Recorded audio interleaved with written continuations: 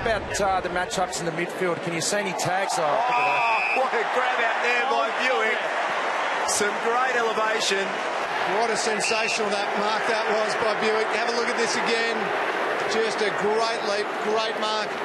Richo, you asked about those matchups in the midfield as we get it from another angle. That is one of the contenders of mark of the year already. Pendlebury in there, trying to work it out the back. A backheel tap, deliberate it was, and that was a deliberate kick by Sidebottom as well. Creative play from two creative players. Now Fasolo, long ball, got really good position here as White over the top. Three bites, got it, oh. plays on goal. All clear. Some not so good.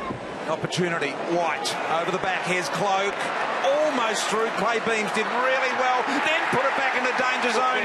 Cloke kicks the goal. Dominating around the packs at the moment, the Pies, Swan, Pendlebury and Sidebottom combined. That's always going to be dangerous. As Fasolo, meets this one full chested. Only played 15 of Collingwood's last 45 games Fasolo. He too has had foot issues. He's a great celebrator Fasolo. He's back up forward. I think that's where he belongs Fasolo. And he loved it. Big bomb, Collingwood. Sinclair finishes it again to Blair. Now Cloke's one out here. Doing a nice job was Clark trying to turn him around. Paparone for support. Cloke's got to beat a couple. When will the troops arrive? Didn't need him, the big man. Pulled the kick magnificently.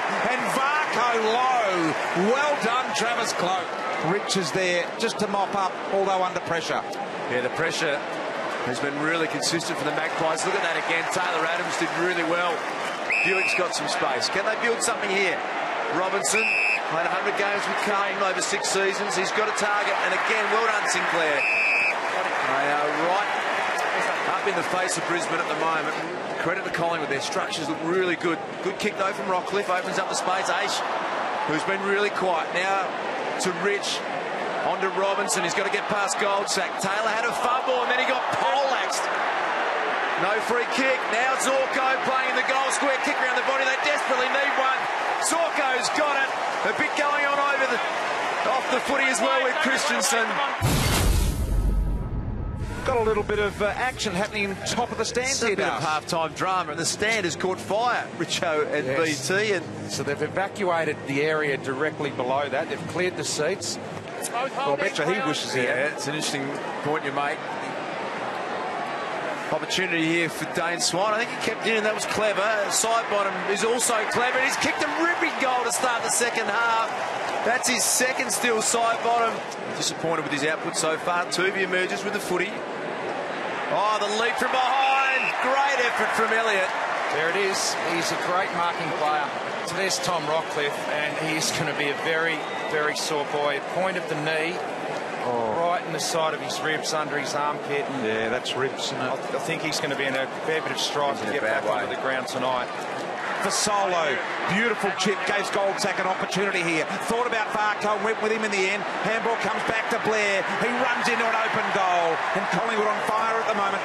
Five goals in the second, third quarter. Brendon Fevola debuted for the Brisbane Lions. Yep, the first time that they've kicked consecutive goals in this match. Josh Green and Christensen, the last two, they go forward again. They give themselves a chance here. Can Martin hand it off to Lewis Taylor? He's going to go to the outside of the boot banana and make it three in a row as he is. Grundy's been super impressive. First handled to again. Beams has worked hard. Kick forward by Rich. Start in the middle. He got a good bounce as it got through hands. It might be the first goal of the last quarter. It's the last four goals to Brisbane. Advantage, advantage. You heard the umpire. It was clear. Here's Clay Beams from inside the centre square. A big ball. Green! Both Dukes on it. Free will go to Green. Great effort. He was three on one there, Josh Green. I think it was against Langdon. So Green here to get it back to 22 points and a possibility for Brisbane. BT said the 26 minute mark of the third quarter, Collingwood by 53 points. The last six goals, Brisbane's way. And Josh Green, well, he thinks he's in range. He's going to go back. He'll have to kick it 52 metres. Richo with a wet, heavy ball. It'll take his best. Tough kick. He's given it off to the man who can kick it, though. Rich slides up from 52. Don't worry about the distance. Seven in a row to the Lions. Unbelievable seeds. We're back to a 10-point ball game. Siren sounds. Collingwood have got Adelaide next week.